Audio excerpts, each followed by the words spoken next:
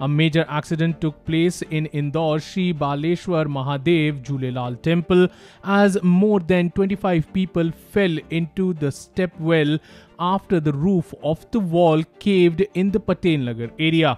Efforts are being made to pull out people who fell into the step well.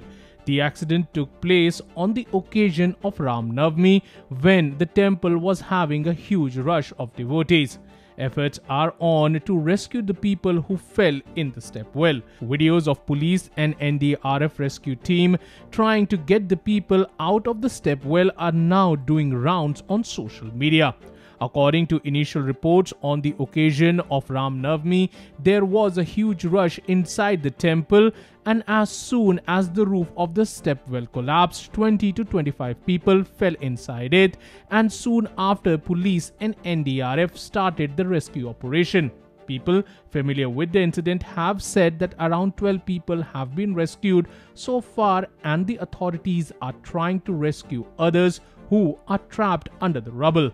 Images that are now doing rounds on social media shows ambulance rushing to the spot and the family members of the people who are feared trapped are also reaching the temple. Meanwhile, Madhya Pradesh CM Shivraj Singh Chauhan has said that he is in constant contact with the authorities to know every detail of the incident.